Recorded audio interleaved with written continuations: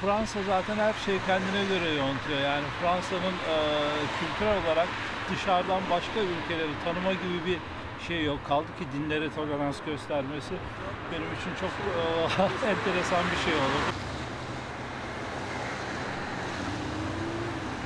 İnançlara baskı olamaz. Yani evet bence İslamiyet'ten korkuluyor. Ben öyle düşünüyorum. İslamiyet'in gelişmesi Avrupa ülkelerini korkutuyor. Dürüst olduklarını düşünmüyorum. Bu Müslümanlar karşı alınan bir Avrupa'da tepki olarak görüyorum.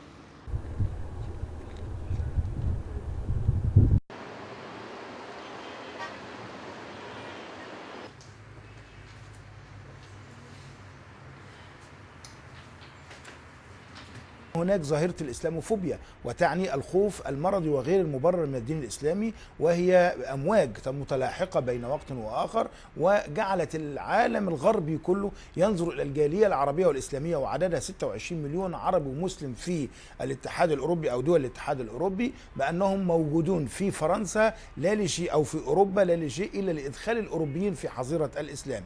الشيء الآخر أيضا هو أن هناك خوف من الإرهاب لأنه ضمن ما يسمى ظاهرة الإسلاموفوبيا وهي الخوف المرضي وغير المبرر من الدين الإسلامي هناك أنت مسلم اذا أنت إرهابي. كل هذه الأسباب هي التي تجعل ساركوزي يلجأ إلى البرلمان الفرنسي لاستصدار مثل هذا القرار. العلاقات السياسيه الدوليه بمؤسسه العرب